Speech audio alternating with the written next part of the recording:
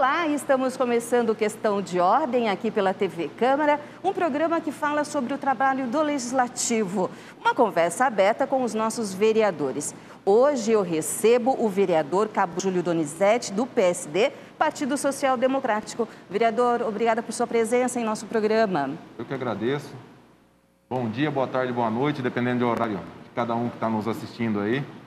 Estamos aí para falar alguma coisa a respeito do nosso trabalho, do pouco tempo que já estamos aqui, aí há 10 meses, indo para 11 meses. Eu um pouco menos, que eu cheguei na casa atrasado, a primeira vez que eu vim na casa foi dia 15 de, jane... de fevereiro, mas tentando aí dentro das limitações fazer o máximo e o melhor possível para a nossa cidade. Sim. Vereador, vamos começar falando sobre os recursos que o senhor tem buscado para a área de, da saúde. O senhor fez uma recente viagem a Brasília. Como é que foi esse encontro lá? O que, que o senhor trouxe de frutos para a nossa cidade? Olha, eu fui a Brasília com o interesse de buscar emendas para a cidade. E a da saúde do HB, eu já tinha feito antes, assim, quando, assim após o termo da eleição, é, tem um deputado que é meu amigo pessoal, o deputado Coronel Tadeu, e quando eu ganhei a eleição, de imediato eu liguei para ele e pedi para que a gente fizesse uma parceria para que ele ajudasse melhor a cidade. Na, na, na, sequência, eu peguei o Covid, fiquei mais de 40 dias no HB, quase morri. E assim que eu saí, da, a minha primeira viagem foi a São Paulo, no, no gabinete dele, e pedi recurso para o HB. E foi feito o documento, o gabinete fez o documento, e graças a Deus, a semana passada agora, o dinheiro já está na conta. Foi liberado por ele para o HB 400 mil reais. Fui essa semana lá, presenciei a entrega oficial do dinheiro na conta. Inclusive, quero agradecer é, não só ele, como vários deputados que estão mandando, mandando emendas para o hospital, para o HB. E, e pedi também para ele para aquisição de uma viatura para fortalecer a segurança da nossa cidade, para a GCM. Ele, ele, ele já deu a emenda, já está na conta. Provavelmente, questão de alguns dias aí, é, a Guarda Civil vai, vai comprar uma viatura grande, que é uma viatura chama Romo, é como se fosse o, um tático móvel da Polícia Militar, porém para apoiar as ocorrências atendidas pela Guarda. É uma emenda que eu consegui através dele. E a Brasília eu fui, visitei alguns gabinetes de deputados que eu conheço, o capitão Derrite, pedi emenda para ele para a Santa Casa, recebeu com carinho o documento e falou que vai analisar e com certeza a emenda vai ser enviada já no início do ano. Tive em São Paulo, falei com a deputada doutora Damares, pedi uma emenda para ela para uma associação aqui de São José do Rio Preto, uma associação de caridade, Pão da Vida, que atende várias pessoas. E ela falou que também vai ser atendida. Recentemente a assessora dela me ligou falando que provavelmente agora, no início do ano, a emenda vai ser paga. Ontem eu fiquei muito feliz. A assessoria de Brasília do deputado General Peternelli, qual eu estive lá, protocolou uma emenda pedindo para o lar São Vicente, daqui de São José do Rio Preto, uma emenda. Eles me ligaram ontem que a emenda vai ser paga, que é o lar que cuida das pessoas que, que estão praticamente no fim da vida. Então, eu vejo que, graças a Deus, as emendas, o meu pedido está sendo atendido pelos deputados e, e, e com isso quem ganha é a cidade, né? E a gente corre atrás, eu não corro para mim, não, eu corro para a cidade, pra, principalmente para as pessoas que mais necessitam. E a saúde eu vejo com, com, com bons olhos, porque abaixo de Deus, primeiramente Deus, eu devo a minha vida e, e, e, tenho certeza que eu estou aqui porque fui muito bem atendido no HB. Deixo aí meus elogios a todos os médicos, enfermeiros, aos faxineiros, a todas as pessoas que no auge da, do Covid ele, eles deixaram de cuidar da vida deles para cuidar da nossa vida. Então as pessoas que, teve algumas pessoas que não tiveram a sorte que eu tive, de graças a, graças a Deus está de volta, só que só quem esteve lá sabe o tanto que aquele pessoal, não só do HB, mas de todos os hospitais, eles lutaram, estão lutando ainda, para que salvasse muitas vidas. E, e, entre as salvas, eu sou uma delas. Sim. Vereador, então, o senhor é, sabe das necessidades locais, nessas áreas principalmente, o senhor conhece os caminhos. É, eu queria que o senhor falasse qual que é o olhar que é, os deputados têm da nossa cidade. O que, que o senhor sentiu? A nossa representatividade para eles? Olha, como, como todos sabem, Rio Preto, São José do Rio Preto é uma das melhores cidades do país para se viver. É uma cidade grande, é uma das maiores do estado. Todos os deputados têm interesse aqui. é, é que às vezes a gente fica naquela é, mindragem de falar, mas o interesse do deputado é político e quanto mais eles ajudam, mais são divulgados o nome deles. Porém, é um, é, eu digo que talvez seja uma troca. Você vai lá e pede e nada mais justo porque eles vão devolver para a cidade o dinheiro que está lá para isso. Porém, as pessoas têm que correr atrás. Se correr atrás, eu, eu, vou nos deputados que eu conheço. São pessoas que eu conheço antes da política, antes de eu, de eu ser político, de eu ser vereador e antes até deles serem deputados. Mas só que a demanda deles também é muito grande, não é só São José do Rio Preto, eles atendem, cada deputado tem um estado para atender. Só que eu digo assim, se todos corressem atrás, você pedir para 10 deputados, você ganhar de um, a cidade que ganha, né? Mas o interesse do, dos deputados nas nossas cidades, eles têm, eles têm uma visão maravilhosa. Eu tive recentemente no HB, teve o ministro da Saúde, junto com ele mais quatro, cinco deputados, todos trouxeram emendas. Esses dias um deputado do Amazonas mandou emenda para o HB, 250 mil reais, pelo atendimento, porque o HB hoje é um, um hospital que não atende só, só o estado de São Paulo. Além de atender todos os municípios praticamente do estado de São Paulo, atende outros estados.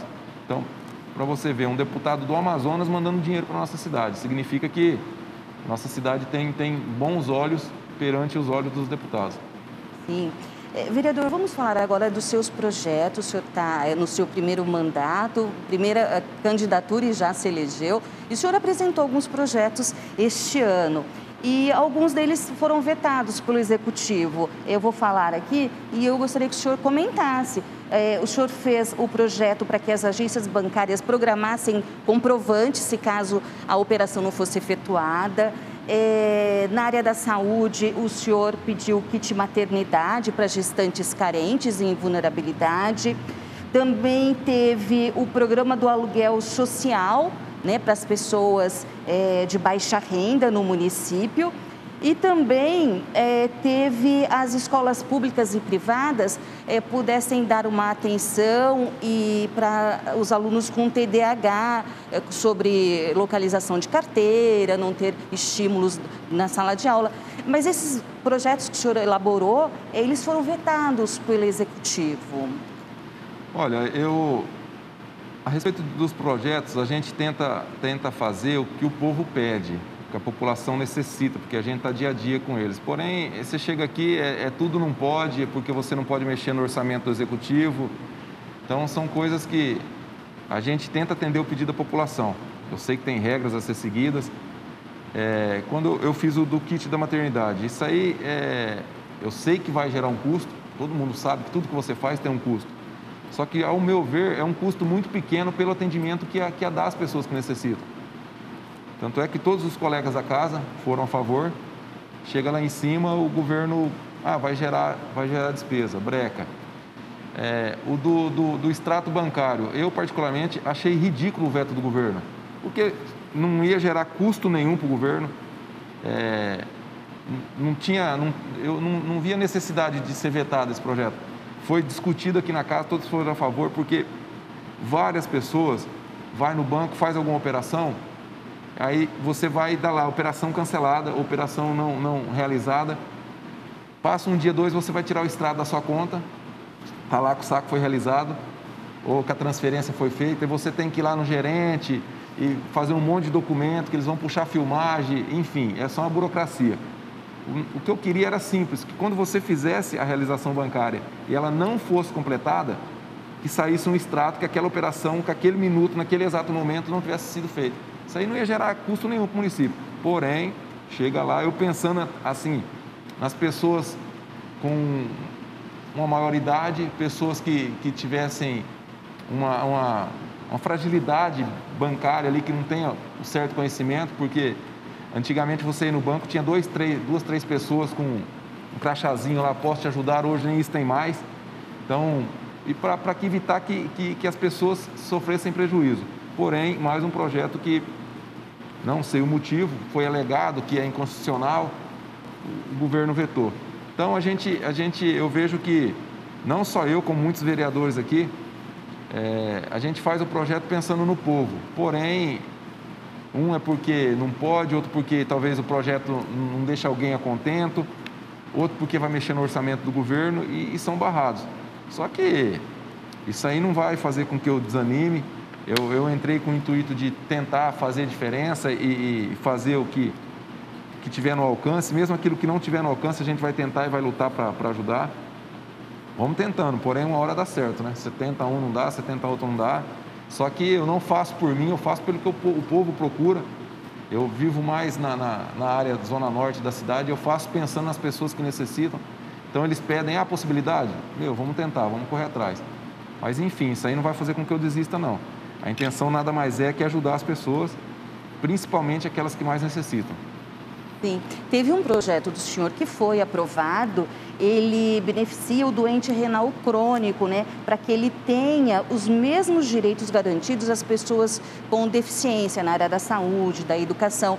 Essa foi uma vitória. Foi uma vitória. Isso aí também foi foi procura de pessoas, não só de uma, mas sim de várias pessoas que procurou o nosso gabinete e, e de imediato entramos entramos numa reunião, eu com o pessoal que trabalha comigo, que eu falo que eu, eu não tenho gabinete, eu uso o gabinete, que não é meu, é da prefeitura, e, a, e, a, e as pessoas que trabalham comigo também é, têm um único, um único intuito, é atender a, a demanda as, das pessoas, dos munícipes que, que, que nos procuram.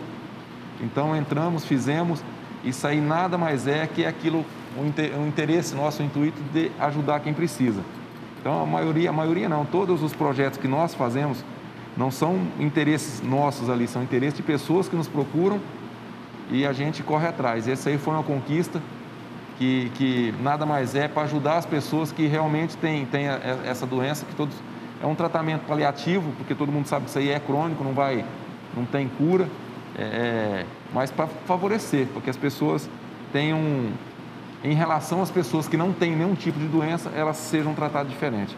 Sim. Vereador, sobre sua atuação na área da segurança, o senhor é militar, é, o senhor fez é, esses, na última tribuna pedindo mais policiamento no centro da cidade, no João Paulo II, no Santo Antônio. É, e também, complementando, o senhor fez duas moções é, nas sessões também contra a, a concessão de regime semiaberto para aquele assassino, o Lindenberg, que foi um caso é, nacional, né, que ele assassinou a ex-namorada, e também um outro sobre um ataque na escola no, em Santa Catarina. É, como é que é a avaliação que o senhor faz sobre a segurança é, da nossa cidade, na nossa cidade? O que, que o senhor pode fazer mais para que as pessoas, os munícipes tenham mais segurança? Como que o senhor pode atuar? Olha, eu como, como vereador representante do povo, o, o, a única coisa que eu posso é pedir patrulhamento, tanto para a guarda, que vem fazendo um serviço maravilhoso na cidade, a polícia militar, que, não, que meu, não tem o que falar, nós somos é, uma das polícias mais mal pagas do país, porém a melhor polícia do país. Só que há 10 anos atrás, o efetivo da polícia era X, X policiais. 10 anos após, diminuiu o efetivo e a cidade cresceu. Então, é, o que, que acontece? A demanda, a necessidade do policiamento é muito maior do que 10 anos atrás, porque a cidade cresceu. Então a gente pede e, e manda ofício, faz encaminhamento, pede indicação e liga para os policiais que a gente tem amizade. Só que a demanda é muito grande, são, é, é pouco, é pouco policiamento, aliás, o, o policiamento ele, ele, não consegue atingir a necessidade da cidade. Por mais que os policiais se, se dobrem, se corram atrás, é, nós temos um comandante na Polícia Militar aqui, o Coronel Fábio. É, é um comandante que se desdobra, ele, ele luta. Ele ainda lançou um, um, um projeto, uma, uma, uma, campanha contra, com os policiais daqui do nosso CPI, para que faça com que o nosso município, o nosso, o nosso comando de policiamento, que abrange 126 cidades, 123, se não me engano, seja a área mais segura do Estado. E e os policiais estão dando ao máximo. Nós temos o BAEP aqui na nossa cidade, que é, que é um batalhão especializado, porém a, a, a, efetividade da polícia é pouca, não consegue atender. E todo mundo quer. Eu, eu ainda falo que muita gente às vezes critica ou fala mal da polícia, só que hora que chega em casa, tem um gato no telhado miando que ele não conhece o barulho, ele não vai ligar para ninguém, ele vai ligar no 190. E às vezes a demora da viatura chegar, aquilo já deixa a pessoa descontente. Só que você vê, a Zona Norte hoje praticamente é uma outra cidade. Você vai lá, tem poucas viaturas, não atende, a necessidade não atende. Aí temos a Guarda Civil, que tenta dar o máximo para ajudar o policiamento. E, enfim, é, teria que partir do governo, do governo do estado, só que isso aí não cabe a nós aumentar o efetivo. Quando eu falo aumentar, teria que praticamente dobrar o efetivo da polícia, não só da polícia militar, sim da polícia civil. Tem delegado hoje que representa 4, 5 municípios. Você vai em certos municípios aí não tem delegado, porque está puxando plantão em outro, em outro, em outro. Só que isso aí é um caso que é, é não cabe a mim. Eu, por, se, eu, se eu tivesse capacidade e poder para isso aí, queria dobrar, mas isso aí é, é questão de órgãos superiores.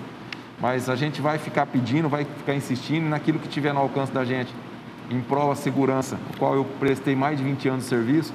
Eu sei da necessidade do pessoal, também sei da, da, da escassez que nós temos dentro da corporação. Mas pode ter certeza que os policiais, de, eu falo de São José do Rio Preto, que é a cidade que eu trabalhei os últimos 10 anos, o pessoal se desdobra, dá o máximo e o que eles poderem fazer para agradar a população vão fazer. Quanto às moções, eu falar como político, eu tenho que falar que eu fiz um documento para por ser contra. Agora, como policial, no meu ponto de vista, uma pessoa dessa aí que fez uma, uma, um estrago numa família, se ele foi condenado a 50 anos, eu sei que no país é só 30 o máximo, ele teria que puxar 30 anos.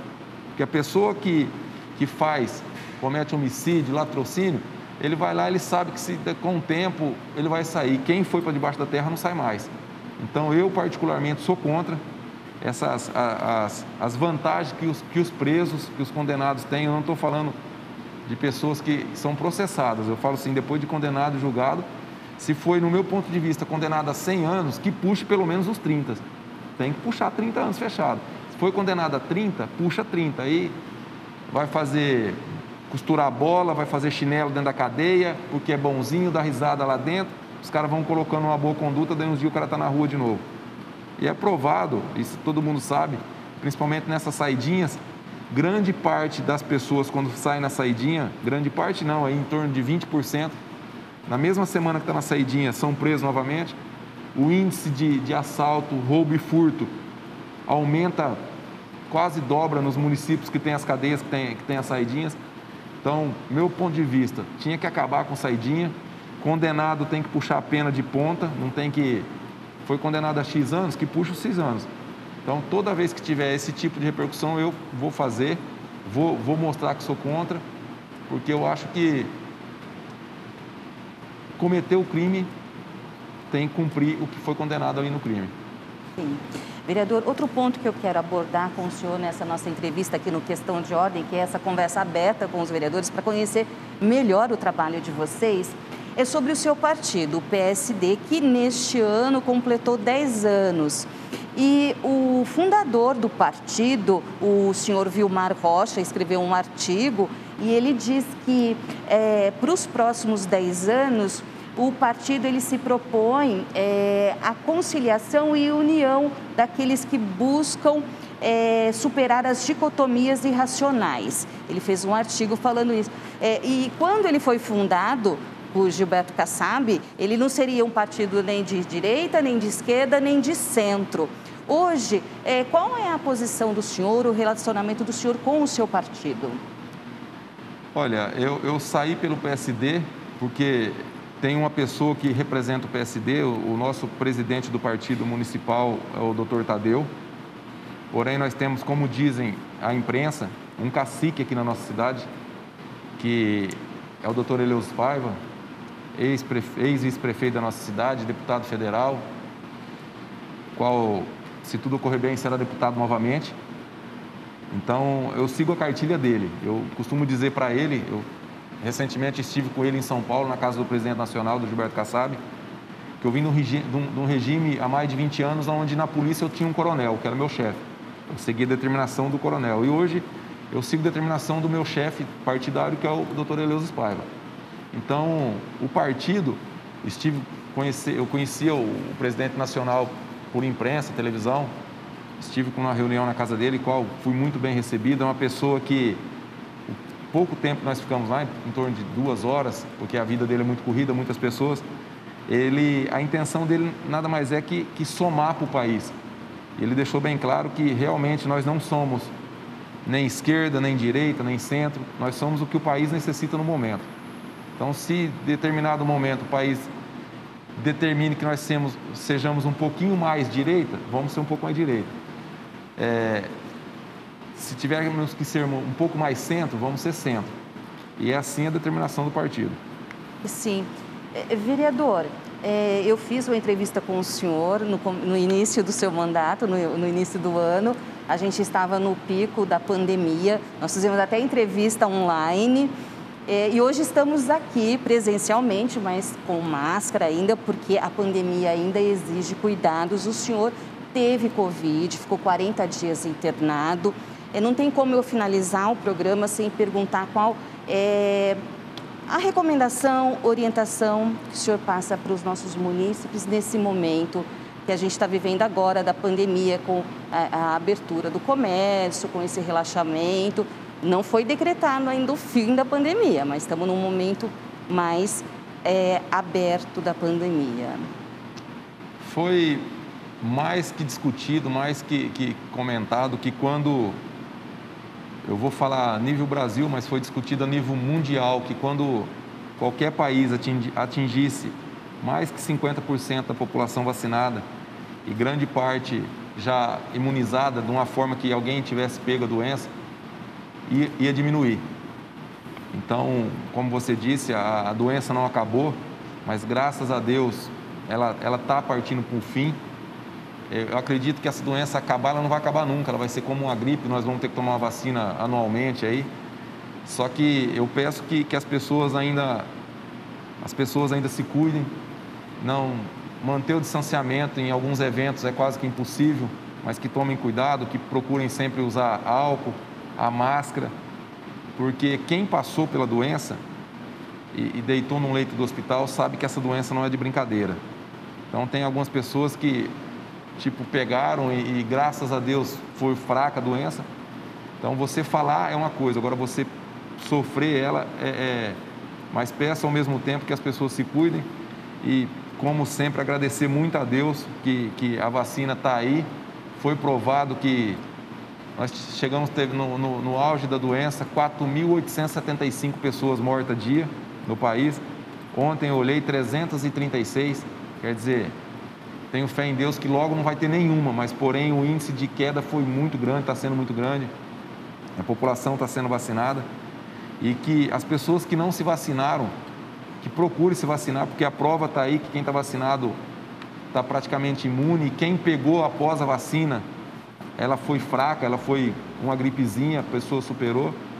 E que as pessoas se cuidem, que Deus abençoe, que nossos governantes acima aí, governo estadual, governo federal, ministros, deem o máximo para que nossa economia volte, para que nosso país volte a crescer, porque muitas, muitos comerciantes que fecharam suas portas provavelmente não vão conseguir abrir mais, é, mas que não desanime, que tentem, corra atrás e que Deus nos abençoe, nos acompanhe sempre para que nosso país só venha a crescer. Sim. Vereador, então, quem quiser falar com o senhor, é, Facebook, é CB Júlio Donizete, vão passar seus contatos. É, telefone aqui da Câmara, do seu gabinete, 3214-7760 ou 7761. E o WhatsApp é 991914464. E e-mail, né? Quem quiser fazer contato com o vereador Cabo Júlio Donizete é juliodonizete, arroba riopreto.sp.leg.br. Vereador, agradeço sua participação, esse bate-papo bom, aberto aqui no nosso programa Questão de Ordem. Sempre à disposição. Obrigada, até a próxima. Fica com Deus. E esse foi o Questão de Ordem. Eu conversei com o vereador Cabo Júlio Donizete, do PSD. Se você quiser assistir novamente este programa, a gente está no YouTube. É só procurar Câmara Rio Preto. Aliás, você tem ali toda a programação da TV Câmara. No YouTube você pode assistir é, em vários horários, dias e onde quiser. Muito obrigada por sua atenção e até o próximo programa Questão de Ordem. Tchau.